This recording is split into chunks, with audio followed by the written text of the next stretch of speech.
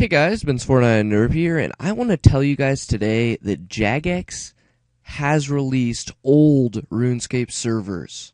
I know they they said they would never be done. You guys asked for it though, so I'll show you how to get to them. Step one: you type in old RuneScape servers into the search box. Okay, then you then you search for it. Okay, then you click on RuneScape Classic um, then you just click on one of the one of the clients and you load up the client. All right, guys. Now, once you're here, you're going to want to log in as your RuneScape account.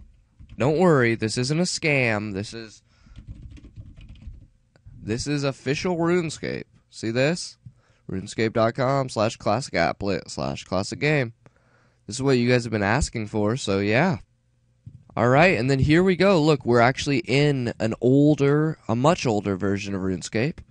Um, so yeah, here we go. Um, we're, we're gonna actually go kill a guard real quick. We need to train our attack. So yeah, so so well, all of you guys complained about wanting the old RS back. You know how the evolution of combat is going to completely ruin the game. But remember, you can always play old RuneScape.